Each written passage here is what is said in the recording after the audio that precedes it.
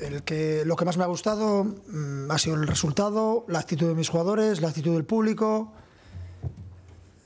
Y en general veo casi todo positivo. ¿eh?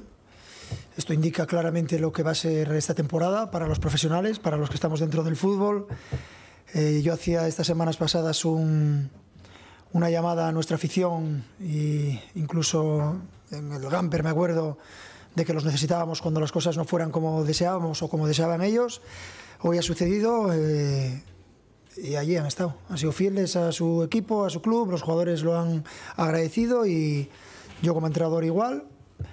Y este es el ejemplo de que la temporada va a ser una temporada muy difícil en todas las competiciones y que, y que tenemos que seguir mejorando muchas cosas. Pero estoy contentísimo.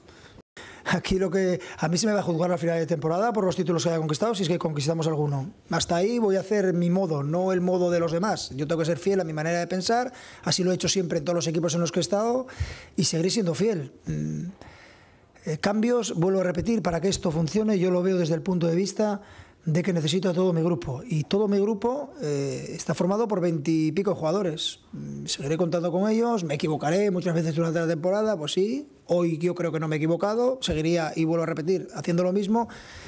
Y nada más. Eh, si esperáis que ganáramos 4-5-0, pues eh, bueno, podría ser también otra opción, pero no siempre se produce, es difícil en una competición como esta y lo que sí está claro es que tengo confianza ciega en todos mis jugadores, en todos.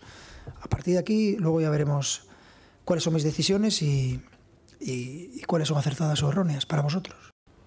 No, le felicito profundamente, es un jugador, ya lo conozco perfectamente, lo conocía ya el año pasado.